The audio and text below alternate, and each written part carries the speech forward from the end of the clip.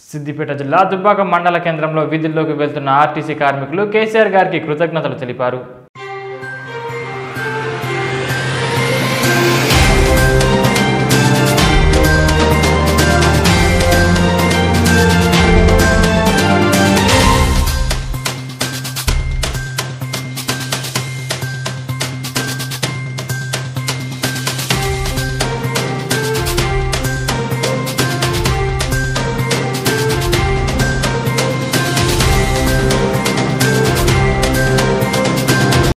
ఒక డిపోలో యాభై నాలుగు రోజులు సమ్మె చేసి మరి గౌరవనీయులు ముఖ్యమంత్రి గారి ప్రకటన మేరకు ఈరోజు మేము అందరు విధులకు జాయిన్ అయి- జాయిన్ కావడం జరిగింది.